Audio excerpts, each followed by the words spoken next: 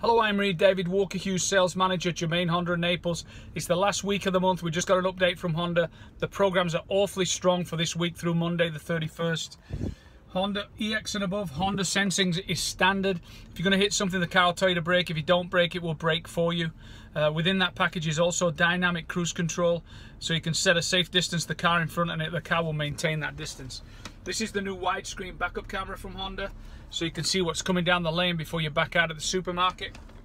Plug in your Apple or your Android, EX and above, up come your apps here. These are mine, Pandora, Audible, Google Maps, you also get, obviously, we give you Bluetooth, but you get something called Honda Link.